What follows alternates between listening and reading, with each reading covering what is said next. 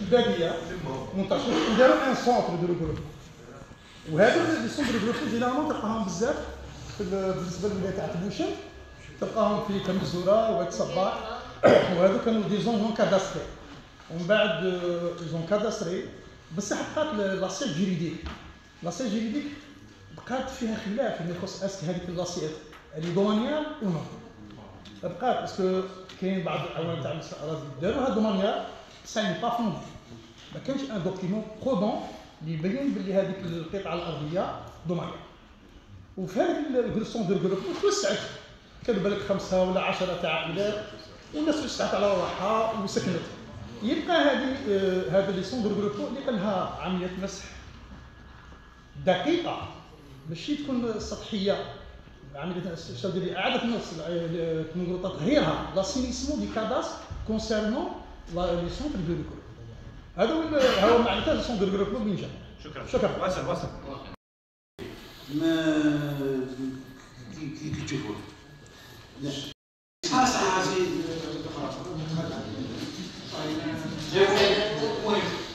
السؤال السؤال مره كي دير كي دير التفل إحنا معارضين العقوبه ومعارضين المسألة قانونية. اسمح لي سيدي بغيت غير نسقسي نفذ ولا ما قديتش نفذ واش باغي تنفذ حنجاوب نجاوب جاوب واش نفذ نجاوب بعد راح تنفذه هو يطعنك ويجي ونديروا كاع الشيء اللي كنا نهضروا عليه من قبيلة.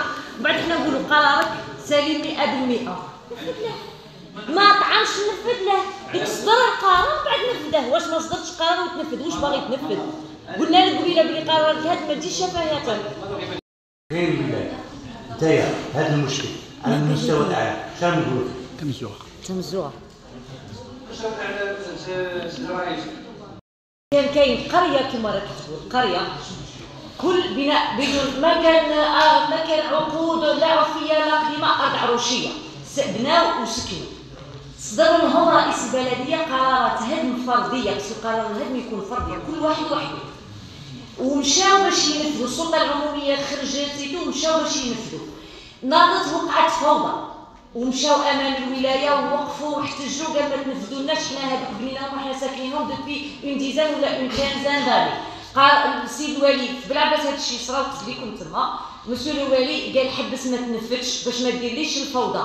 mais avec le temps au fur et à mesure قررت الهدم تنفذت. parce que الناس ما عندهاش باش تجي تطعن وتقول لك أنا هذا القرار اللي نصدروه ضدي غير قانوني. ولا داروا دعاوى chaque personne اللي قد يرفع دعوى رفعها لم تلغى قرارات هاد وتنفذت avec le temps au cas par cas وبشوية بشوية وهذاك الحي il a été rasé. mais ça prend du temps أني فهمتك واش راك باغي تقول mais صدر القرار ومن بعد نقولوا ما قديتش ننفذه. هذا اللي الفكرة اللي وصلت لي أنا. باللي أنت ما صدرتش قرار. وحبيت تنفذ واش تنفذ صدر القرار خليهم يطعنوا فيه يولي صاي عنده حجية الحجيه كاين واحد المستثمرات بنين فيهم تجمعات سكنيه صدر قرار بالهدم ومن بعد كان في 2018 تم توقيف القرار التنفيذي. ودركا واش دركا خرج قانون هذاك اللي راهم يبداو يطبقوا ويديروا الاحصاءات la zéro deux هذيك يعرفوها رؤساء البلديات وكلش واش يديروا؟ هذوك الناس اللي بناو تجمعات داروا بناء ريفي فوق أرض فلاحية وبطريقة غير قانونية. الآن في zéro deux غادي يسووا لهم الوضعية. يديروا الاقتطاع بلجنة ولائية ماشي لجنة وطنية ويديروا لهم الاقتطاع ويسووا لهم الوضعيه رانا نروحوا يا كوش sinon ما نخرجوا حتى حاجة. حنايا كمحكمة إدارية؟ راه عندنا واحد الملفات اللي زعما حتى حنا كقضاء ما ما, ما نجمناش نفصلوا فيهم. على درت أنا في في في ال- في اللجنة درت بوزجار وسيدي بن عده لأن أغلب المشاكل اللي عندنا عندنا في هذو زوج.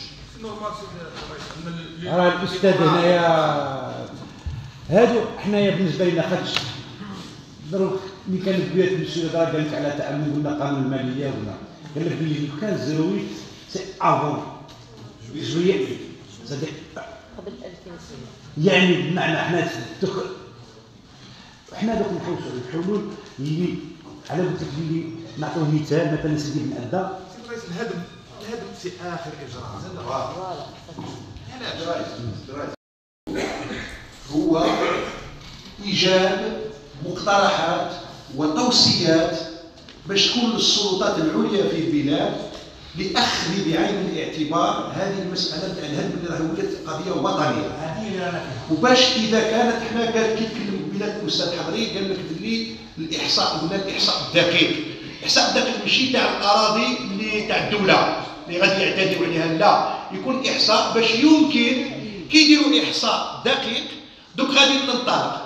ممكن البدايات اللي كانوا يمكن إيجاد حلول واقتراحات تعتمدها السلطات العليا في البلاد. هذه الحلول هذه قال فريكسون هذا النوع مثلا واحد اللي بنى وصل 5 ميطاج وصل وداره مكمولة وكل شيء هذا من بين الاقتراحات قال نديروا له عقوبات مالية. ولا قال مصادرة مثلا البناية نتاعه حتى يؤدي ما عليه من غرامات. هذه هي الحلول باش ما يكونش قضية الهدم. الهدم تكون آخر لأن عملية الهدم عندها مخلفات على المجتمع. في لا سوسيتي